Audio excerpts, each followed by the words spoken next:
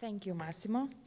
Uh, and thank you for this short introduction to the Baltic countries. I thought how, how uh, broad should I be in introducing Lithuania and Baltic countries in general.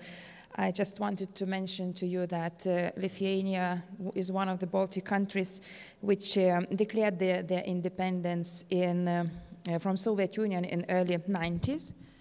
And uh, with this uh, historical fact, the factual possibilities for freedom of religion emerged and conditions for new religious movements to exist too. And uh, this paper is a um, contribution to discussion about new religious movements in Lithuania, about uh, the situation and uh, what happened during these 20 years, uh, this period of 20 years. And uh, I would uh, be, I'm, I'm, very interested particularly in women in new religious movements and let me start now. Um, I'm starting with the introduction of three of my um, informants. Francesca is around 60 years old. She received her PhD in social sciences in the beginning of 90s. She's married to a professor and has a son who is in his 20s. 15 years ago, Francesca started her spiritual journey and came up with Brahma Kumaris.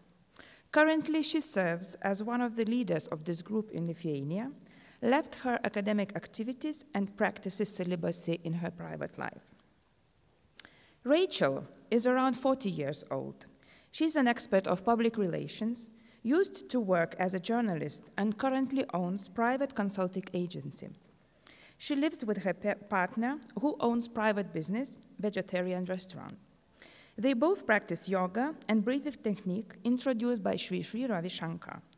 Rachel thinks that she lives her life every moment and does not want to change anything. Idea to create family and to have children is not attractive to her at all. Children, according to her, are the obstacles for spiritual self-development. Margit is 20 years old. She just left her parents' home and started studies in the university. After difficult teenage years, she found shelter among Sahaja Yoga followers in Vilnius. She is expecting the time when she will be ready to create her family according to the method of Sri Mataji Nirmala Devi. She believes this method is effective and she will have a happy family life. These three women of different age, education, and life experiences I have met in three new religious movements in Lithuania.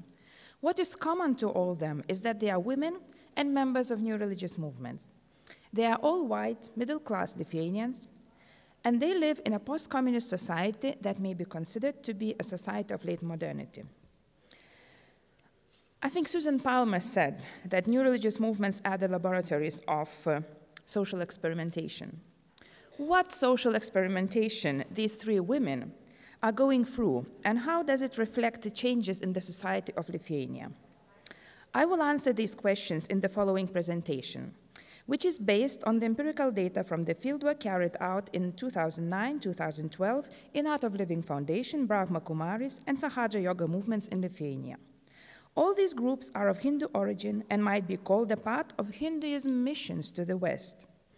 Thus, it might be expected that traditional patriarchal, patriarchal meanings of gender roles are important in the teachings of these groups. But these teachings might be differently perceived and implemented according to the social context where they are introduced. Last decade, the issues of gender roles, traditional family values are very important for Lithuanian society. Public discussions are continuing. In such context, the research of alternative cultural milieu and its responses to the public issues becomes very important. What attracted uh, the attention of the research was that in these three religious movements of Brahma Kumari, Sahaja Yoga, and Art of Living, women were very important, but in diverse ways. Sri Mataji, a wife of diplomat who became a spiritual leader, established Sahaja Yoga. Brahma Kumaris is considered to be a religious movement for women, usually outstanding among other new religious movements concerning women leadership. Usually, during the fieldwork, Art of Living Foundation attracted attention with strong and emancipated women participating in its activities in Lithuania and elsewhere in the post-communist societies. The empirical research revealed that Sahaja Yoga group in Lithuania might be considered being mostly of religious origin among the discussed groups. Its religiousness manifested through the process of construction of charisma of Sri Mataji, the mission of Sri Mataji to protect the world from evil forces, the practices of Sahaja Yoga and the experience, etc. In general, Sahaja Yoga group in Lithuania might be considered to be Sri Mataji centered. The founder of the group is believed to be spiritually involved in the activities of the group even after her death. The attitudes of the group towards gender roles are influenced by the role and picture of Sri Mataji and her life. I was told the story of Sri Mataji, where she firstly completed her life duties to be a good wife and to raise children, and later to seek for spiritual self development. My interlocutors called Sri Mataji Mami referring to her status in the group and her own family at the same time. Majority of followers of Sri Mataji in Lithuania are young people, students who came to study to the universities from smallest towns. There are also exceptions, few women of elderly age. Sahaja Yoga group is seen by these students as their new family in the new place and the new conditions of life. Brahma Kumari's group presents itself as the university, and all members of the group are students. This group is oriented to the spiritual self development through practicing Raja Yoga. Although the group's teaching is aimed at spirituality, it distinguishes with women leadership. It is believed that organization was established with purpose to fulfill the divine will of highest spirit. Women are cons considered to be chosen by the highest spirit to be assistants for this duty. Why women? The answer is in the teaching of Brahma Baba, who at the same time stressed traditional roles of women as mothers and family supporters, but also he believed that only women have features needed for the dissemination of spiritual education and world transformation. Majority of students of Brahma Kumaris in Lithuania are women, with exception of few men in their late 40s and 50s. Women are mainly middle-aged. Majority of them have reached their career and have grown-up children. They had more individualistic attitudes and were more self-oriented than above discussed followers of Sahaja Yoga. But men followers of Brahma Kumaris movement in Lithuania emphasized that women are mothers and it is in their nature to care for others and for the movement too. Art of Living Foundation is the youngest new religious movement among the three. Sri, Sri Ravi Shankar, in his teaching, focuses on the spiritual self development that might be obtained through practice of breathing technique Sudarshan Kriya. In his teaching, Ravi Shankar stresses the spiritual side of human lives and did not teach about family relations directly, except of some examples given from his own family life with his parents and sister. Ravi Shankar is single and considers himself to be a child who has never grown up. Recently, family values and gender roles also become a topic of Ravi Shankar's teaching. In his messages to the followers, he emphasizes the power of women to influence man by being soft and wise. Followers of Ravi Shankar in Lithuania are a very diverse group according to their age, gender, education, social status, etc. What is common for all Ravi Shankar followers is spiritual seekership. Informants told their stories of spiritual journeys through the teachings and practices of various gurus and organizations before they met Sri Sri Ravi Shankar and joined Art of Living Foundation. The participation in new religious movement provided women with alternative chances to seek for leadership, differently than in majority of traditional religious groups. But such chances do not directly lead to the conclusion that movement will be critical towards patriarchal norms in, and its various aspects. Findings of this empirical research do not allow stating that women were aiming at leadership, but what might be concluded that they were reflecting their roles in the family and everyday lives and searching for their own answers what they should be. Are, are men and women equal in these groups? It differs from group to group. What is common to all these groups is the emphasis on the spiritual self development that might be attained through different ways. These groups might be called spirit centered, where spirit and body are separated, have different functions. Sahaja Yoga emphasizes family life and women duties in it before they start their own spiritual journey.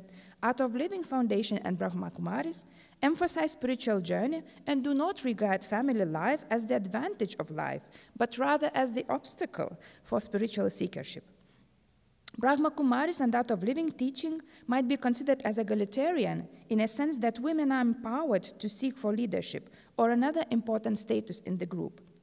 The research revealed that in Brahma Kumaris in Lithuania, femininity and feminine features were regarded as the source of power. Empirical research revealed that women who participated in Brahma Kumaris were considered not only feminine in traditional understanding, like being tolerant, empathic, sensitive, our informants also stressed that these women also had masculine features. They were strong and brave. Women of Brahma Kumaris in Lithuania saw men who participated in the group's activities as more feminine than the ordinary men, soft and flexible. In their narratives, Brahma Kumaris members emphasize that gender does not matter. But at the same time, the spirit embodied in women limited, is limited by their gender. In other words, gender makes influence on spiritual life. Brahma Kumaris members were not satisfied with traditional family relations and gender roles, which they considered being as limiting their spirit too. Ideal member of Brahma Kumaris should be devoted for spiritual life and less involved into the secular life. Membership in this group can hardly reconcile with the roles of mother, wife, and their fulfillment in everyday life.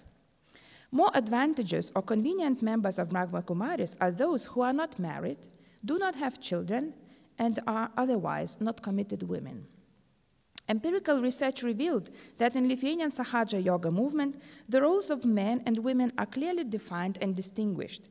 The positions of authority in major cases belong to men, despite the fact that, woman, that the movement was established by a woman. Women in Sahaja Yoga are seen as those who perform subsidiary functions. Their main duties are to stay at home, to take care of children, husband, home, to provide emotional support, and refugee. Thus, drawing the line between women as acting in the private sphere and man who acts in public sphere allows speaking of the Sahaja Yoga movement as supporting the patriarchal system. But informants did not consider these ideas as discriminating them. On the contrary, they considered it to be empowering them and giving other rewards. The research also revealed that teachings of Sahaja Yoga movement might be treated individually. Some informants told that their wives are working full-time job and they don't see any conflict between teachings of the movement and their private life choices. On the other side, the social context is also crucial for such choices. Average Lithuanian family would not afford welfare if only one family member earns for living. Usually people have to have more than one job. Women in Sahaja Yoga are taught to be silent, to avoid the power against men, in other words, to be clever and wise. Similar teachings that women should be wise and clever might be found within Sri Sri Ravi Shankar's recent teachings. But more individualistic approach from its followers leaves this idea to be treated individually. Physical separation between women and men is preserved during the rituals in Sahaja Yoga in Lithuania. Men and women choose different sides of the whole.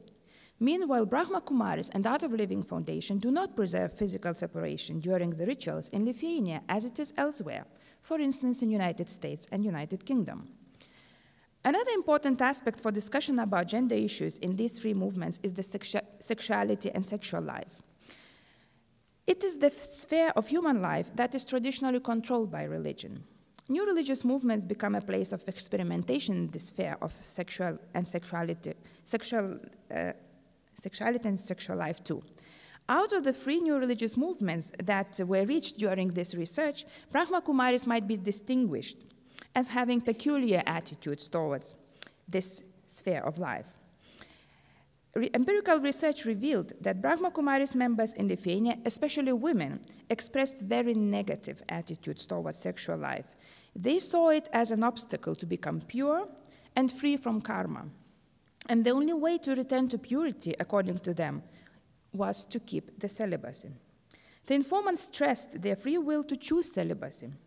Individualistic approach that is found in the narratives revealed that informants expressed their freedom to choose faith and way of living. They uplifted spirituality into the first place and left family and husband in the second place. Narratives of Sahaja Yoga informants revealed another path for spiritual seekership. Women emphasized abstention from premarital sexual relations, gave advantage for organized marriage that is followed by clearly defined roles of family and gender. Informants, both from Sahaja Yoga and Brahma Kumaris, expressed their concern about the changing attitudes towards sexual life in contemporary Lithuanian society, about the popular tendencies to have sexual life without commitment, about families created without marriage. While talking about such cases, Sahaja Yoga's followers referred to Sri Mataji's example of the ideal wife and mother. Empirical research revealed that these three new religious movements in Lithuania were spirit centered and emphasized spiritual self development.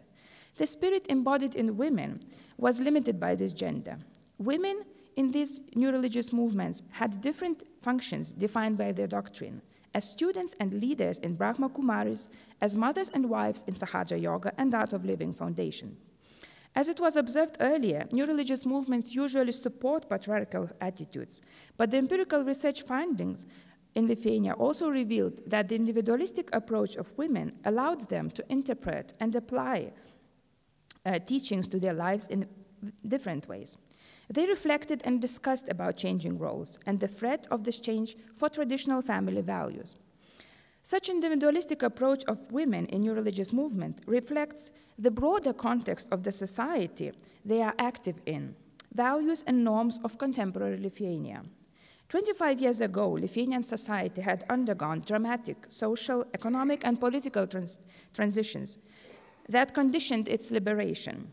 This liberation process had brought in possibilities for the existence of new religious movements and discussions about freedom of religion, changing roles, gender roles, and threat for traditional family values too. Empirical research shows that analyzed new religious movements in Lithuania participate in the common discourse of the threat for traditional family values, which recently became very popular. This discourse started when Lithuania joined the European Union and its soft power was and continuously is used for the implementation of human rights. Recently, it might be observed how various religious communities participate in this discourse, and the new religious movements that were discussed in this paper, too. Francesca, Rachel, and Margit are three women of different age, religious beliefs, and practices. They are touched by the social change of Lithuanian society and react to it in their own way. They say that spiritual self development is their aim, but their gender do matter in this way, too. Thank you.